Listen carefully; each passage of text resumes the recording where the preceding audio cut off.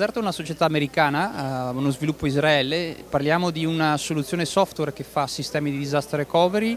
è una replica in tempo reale che permette di ricreare delle virtual machine eh, copia uh, anche sulle lunghe distanze e che sono pronte a ripartire. Quindi tutto quello che è un discorso di failover, failback, testing, sono già integrate all'interno del tool e il tool diciamo, semplifica tutte quelle che possono essere soluzioni per creare dei piani efficienti indipendentemente dal tipo di storage che viene utilizzato. Eh, molto semplicemente diciamo, semplifichiamo delle, uh, delle, soluzioni che altrimenti sarebbero uh, complicate